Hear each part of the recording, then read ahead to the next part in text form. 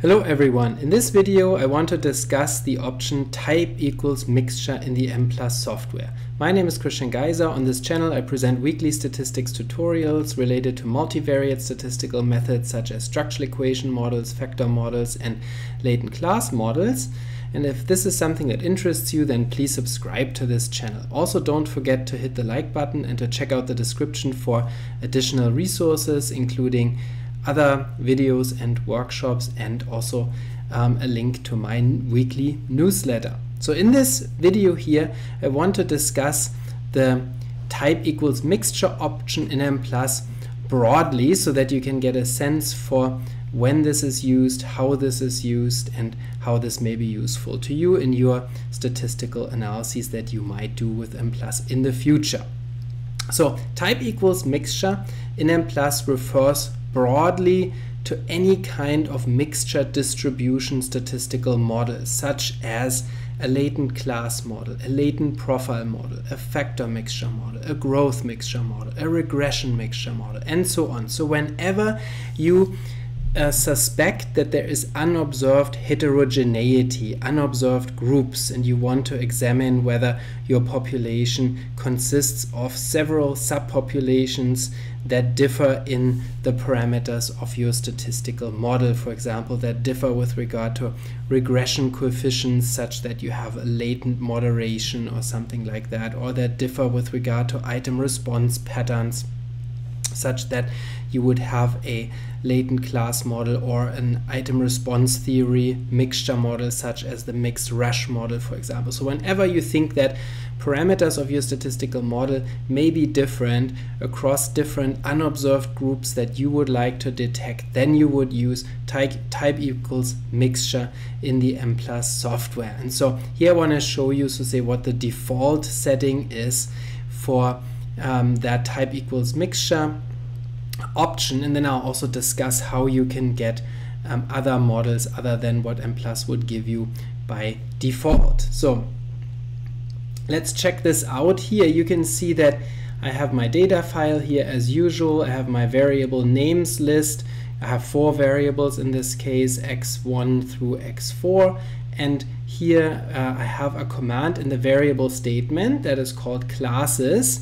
And so the classes command always has to be specified whenever you use type equals mixture because Mplus needs to know how many latent classes or how many populations, so to say, you're assuming.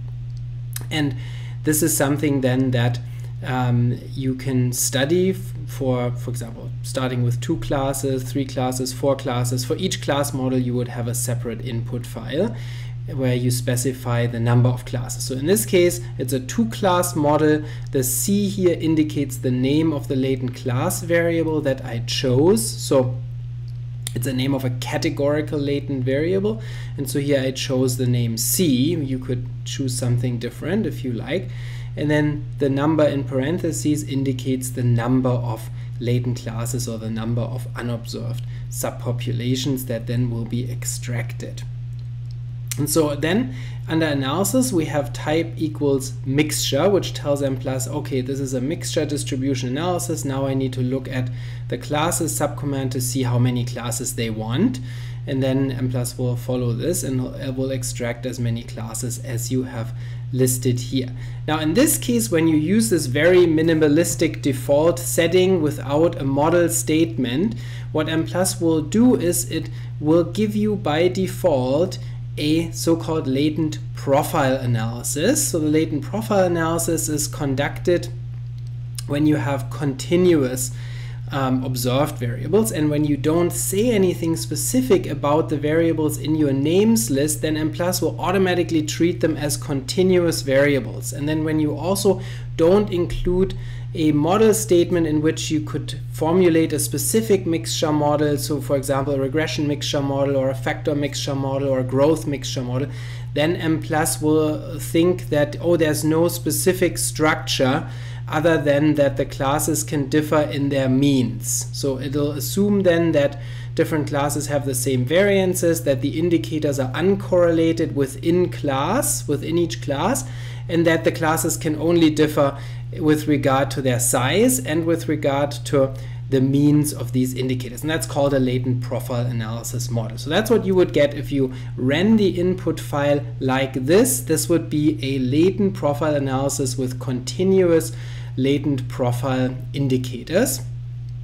Now, if you defined those variables here as categorical, let me do this here to show you how this would work. So categorical equals x1 through x4 semicolon, then that would give you a latent class analysis. So if these indicators were binary or ordinal, meaning ordered categorical, then um, Mplus would no longer fit a latent profile analysis, but rather would fit a classical latent class analysis where the class specific parameters are conditional response probabilities for all categories that would be estimated. So that would be different from a latent profile analysis model. Now, another thing, so say that you can do is you can specify a model statement. So you can run this not just, so say, as an exploratory uh, latent profile or latent class analysis, but you could have some kind of um, model statement. For example, you could say f by x1 through x4 semicolon and then you'd have a single factor model and that single factor model um, oh sorry. What you also would have to specify is overall. So let's not forget that. So when you have a mixture model you have to specify an overall model with these um, percentage signs. So you'd say overall and then f by x1 through x4, for example, so then it would be a factor mixture model. Yeah, so this would mean that in all classes you have a factor model, but the factor model can differ with regard to certain parameters across classes. For example, the factor means could differ. So you have maybe one class with a high factor level and another class with a low factor level, for example. Or you could specify a growth model under, under the overall heading. So you could, for example, say intercept, slope, and then the sign, and then x1 at 0, for example, x2 at 1, x3 at 2, x4 at 3, semicolon, then you'd have a linear growth curve model with an intercept and slope factor, and this these loadings here fixed such that you would have linear growth assuming equal spacing between time points if those four variables represented the same construct or the same measure at four different time points and so then Mplus would fit a growth mixture model with two classes so that's how that works and then another thing is you could also have more than two latent classes. So for example, when we have longitudinal data, we might want to look at a latent transition analysis model. And so in that case, um, you could have more, you could have another class variable here. So for example, you could have, uh, let's say C1 for time 1, and you could have C2 for time 2, and they maybe have the same number of classes. And then under the uh, model statement here, you would then say which indicator belongs to which latent class variable. So you would have the time one indicators assigned to uh, the C1 latent class variable and the time 2 indicator so this to the C2 latent class variable so the model statement would look different than here for the